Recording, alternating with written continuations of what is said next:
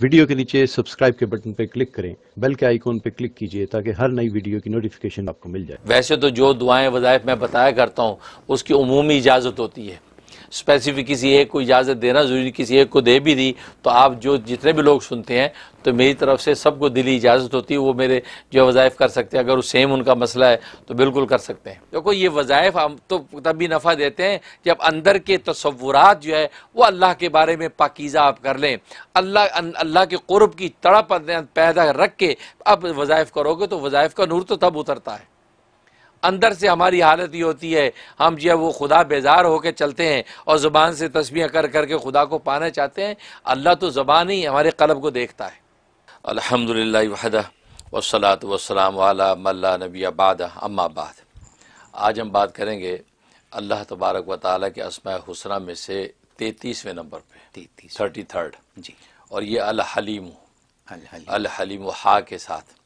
अल हलीम का माना बुरदबार इंतहाई बुरदबार मतहमल मिजाज तो गए कि अल्लाह तबारक व ताली की ख़ास नाम है हलीम और अल्लाह तबारक व ताली की ज़ात से बढ़कर कोई बुरदबार नहीं है और ये अल्लाह हलीम जो है ये कुरान करीम में ग्यारह मरतबा दोहराया गया है मुख्तलि मौक़ों पर अल्लाह तबारक व ताली ने अपना ये नाम ग्यारह मरतबा ज़िक्र किया है और इसके जो है अदद कबीर जो है वो एटी एट हैं अट्ठासी और इसका अदद वसत जो है औसत जो है, वो इसका है सोलह, सिक्सटीन।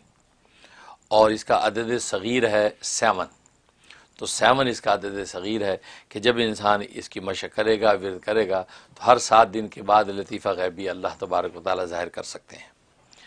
और यह हलीम हलीम वो ज़ात है कि जो ज़ाहरी और बातनी नेमतें अपने बंदों को अता करती है।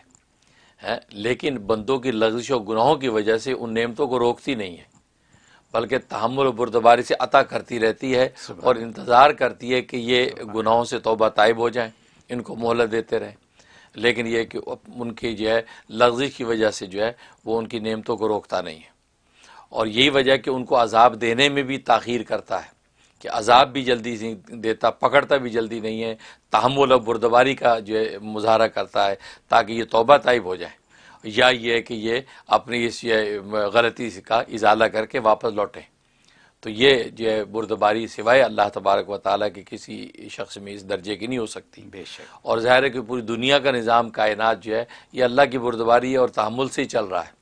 क्योंकि बंदों की लफ्जियों कोताहीियों का आलम तो यह है कि अगर दुनिया को कोई हाकिम हो तो झट से पकड़ ले।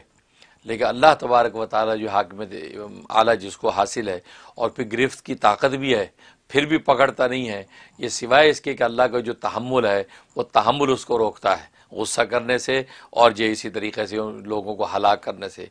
हाँ जब बंदे इंतहा को पहुँच जाते हैं तो फिर ज़ाहिर है कि फिर अल्लाह तबारक व ताली जो है, लोगों की इबरत बनाने के लिए उनकी पकड़ करता है।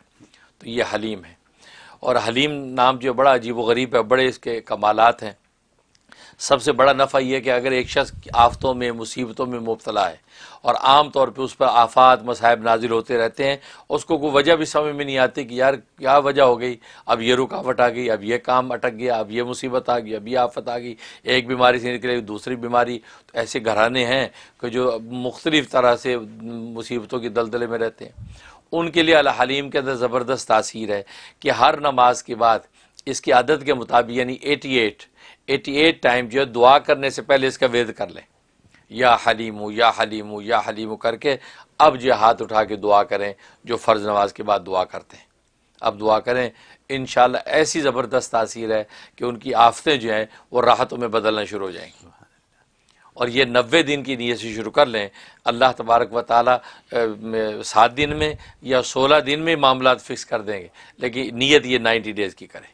इसमें तासीर। दुनिया के मसाइल हैं हम लोगों के मसाइल हैं ये। और लोगों को घर बैठे अपने लिविंग रूम में अपने बेडरूम में टीवी के ऊपर फ़ोन के ऊपर ये मसाइल का हल यूँ मिल जाता है।